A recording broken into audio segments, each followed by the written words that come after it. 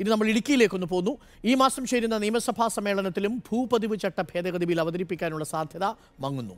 ആകെ പത്തൊൻപത് ബില്ലുകൾ നിയമസഭാ സമ്മേളനത്തിൽ അവതരിപ്പിക്കാനാണ് പട്ടികയിൽപ്പെടുത്തിയിരിക്കുന്നത്. ഇതിൽ ഭൂപതിവ് ചട്ട ഭേദഗതി ബിൽ ഉൾപ്പെട്ടിട്ടില്ല. ഇതോടെ വലിയ പ്രതിഷേധത്തിന് തയ്യാറെടുക്കുകയാണ് ഇടുക്കി.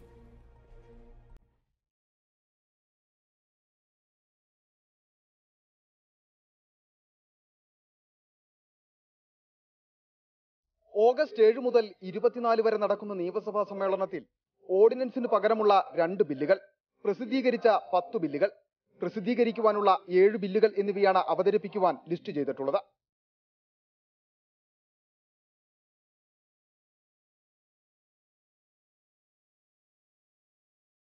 ഇതിലൊന്നും ഭൂപതിവ് ചട്ടഭേദഗതി ഉൾപ്പെട്ടിട്ടില്ല.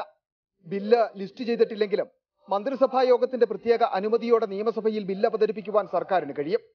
പക്ഷേ നിയമവകുപ്പ് തയ്യാറാക്കിയ ബില്ല് ഭരണവകുപ്പിന് നൽകി മുഖ്യമന്ത്രിയുടെ അംഗീകാരം ലഭിച്ചാൽ മാത്രമേ സഭയിൽ അവതരിപ്പിക്കുവാൻ കഴിയൂ. ഓഗസ്റ്റിലെ നിയമസഭാ സമ്മേളനത്തിൽ ബില്ല് കൊണ്ടുവരുമെന്ന മന്ത്രി റോഷി അഗസ്റ്റിൻ ജൂണിൽ ഇടുക്കി കളക്ടറേറ്റിൽ നടന്ന സർവകക്ഷി യോഗത്തിൽ അറിയിച്ചിരുന്നു. മുഖ്യമന്ത്രി റവന്യൂ മന്ത്രി എന്നിവരെ പലതവണ സന്ദർശിച്ച എൽ നേതാക്കളും ഇക്കാര്യത്തിൽ ഉറപ്പു നൽകുകയും ചെയ്തു. എന്നാൽ ഇതുവരെ തയ്യാറാക്കാത്ത ഭൂപതിവ് ചട്ട ഭേദഗതി ബില്ല് എങ്ങനെ അടുത്ത നിയമസഭാ സമ്മേളനത്തിൽ കൊണ്ടുവരുമെന്നാണ് ഉയരുന്ന ചോദ്യം.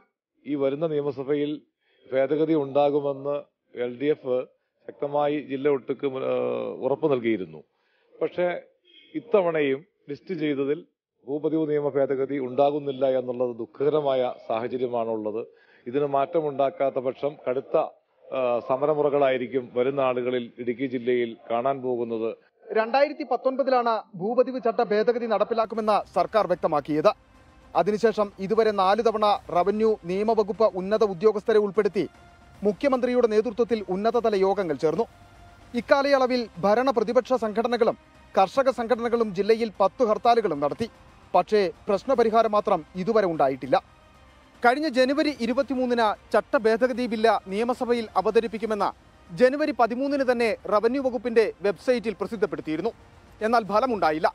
അതിനുശേഷം വരുന്ന നിയമസഭാ സമ്മേളനത്തിൽ ബില്ല് അവതരിപ്പിക്കുമെന്ന പ്രഖ്യാപനമുണ്ടായെങ്കിലും അതും വാഗ്ദാന ലംഘനത്തിലേക്ക് നീങ്ങുമ്പോൾ സമരവും പ്രതിഷേധവുമല്ലാതെ മലയോരത്തിനു മറ്റു മാർഗങ്ങളില്ല. Video journalist S ശ്രീകുമാറിനൊപ്പം reporter Sandeep Rajakkad in reporter Idukki.